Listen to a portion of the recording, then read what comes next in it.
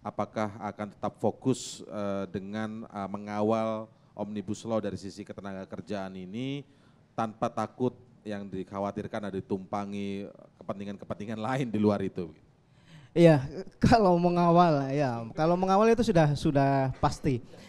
Nah, memang uh, ini berita omnibus law khususnya klaster ketenagakerjaan ini menjadi uh, tambah riuh ke mana-mana, kemudian juga dalam tanda kutip judulnya menjadi galau begitu. Memang kadang-kadang dalam merespon isu dari pemerintah, kadang-kadang dalam mengkritisi itu uh, ada yang tidak ada, kemudian seperti di ada-adain begitu. Nah contoh seperti kemarin kami dapat WA banyak bahwa Omnibus Law Undang-Undang Cipta Lapangan Kerja akan menghapus sertifikat halal begitu. Kaget juga begitu. Dia mendasarkan atas draft yang sudah beredar. Kami konfirmasi ke Kumham juga ke Kemenko apakah draft itu benar atau tidak. Semua menyatakan bahwa pemerintah belum mengeluarkan draft. Lalu dari mana draft itu mereka semua tidak tahu dan tidak pemerintah tidak bertanggung jawab atas draft yang sudah beredar selama ini. Jadi tidak benar kalau kemudian bahwa RUU Cipta Lapangan Kerja akan menghapus sertifikat label halal. Ini mengerikan kan? Tidak karena benar apa karena belum beredar di draftnya? Sampai hari ini saya bilang bila tidak benar. Karena memang juga belum baca draft resminya dari uh, pemerintah. Tapi maksud saya supaya pesan-pesannya itu tersampaikan secara objektif ke kepada publik, pemerintah juga jangan memberikan statement yang sepotong-sepotong.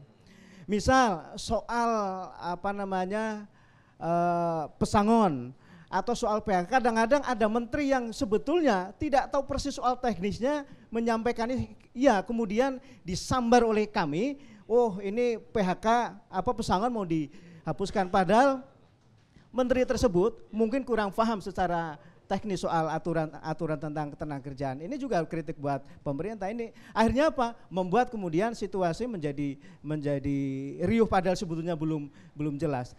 Nah yang kedua selama ini kan pemerintah kalau kami mengedepankan perjuangan dengan uh, membuka pintu dialog itu lebih banyak dalam tanda kutip begitu ya seolah-olah disepelekan begitu. Maka kemudian pilihannya adalah aksi turun ke jalan.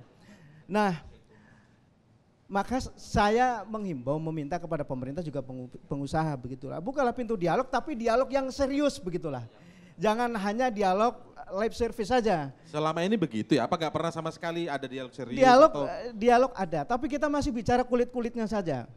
Masih bicara umum, belum bicara hal yang apa teknis. Kami juga belum juga belum sampaikan konsep bagaimana usulan-usulan kami. Tapi kemudian tiba-tiba besoknya Pak Erlangga klaim ada tujuh konfederasi sudah menyepakati omni uh, busulo. Kami kaget juga. Tanda-tanda yang baik atau tidak kalau kayak begitu menurut buruh? Yang yang mana? Ya, Soal. diundang datang ngomong kulit-kulit tapi besoknya sudah diklaim setuju. Ya ini menjadi peta konflik kan di sini kami saya Bung Iqbal kan akhirnya dihajar sama anak-anak yang di bawah. Jadi kurang ajar pimpinan pimpinan kami karena kan yang beredar adalah omnibus law khususnya klaster ketenagakerjaan itu kan merugikan pekerja. Tiba-tiba muncul berita ada tujuh konfederasi uh, sudah sepakat, sudah setuju dan semua tahu siapa tujuh konfederasi itu siapa saja yang sudah ketemu dengan Pak Air Langga. Padahal kami belum melakukan kesepakatan apa pun, baru ngobrol uh, kulitnya saja, tiba-tiba ada statement itu. Kita pasti sudah ada risiko dimaki-maki sama anggota. Dan itu situasi menjadi tambah tambah tambah riuh, tambah tambah gal. Oleh karena itu, saya kira pemerintah juga harus lebih uh, bijaksana supaya tidak terus mengeluarkan statement kemudian yang memancing yang kemudian terus mengaduk-aduk emosi buruh begitu.